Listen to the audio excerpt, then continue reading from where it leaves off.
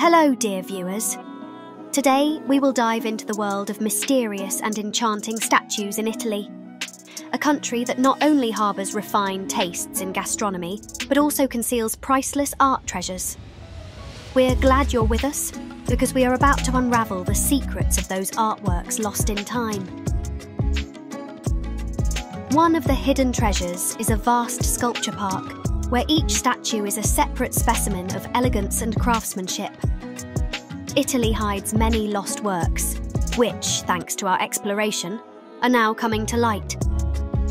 One such lost gem is a statue covered in veils that will astound you with its mystery. Some of these veils have already been deciphered, revealing incredible details and the finesse of craftsmanship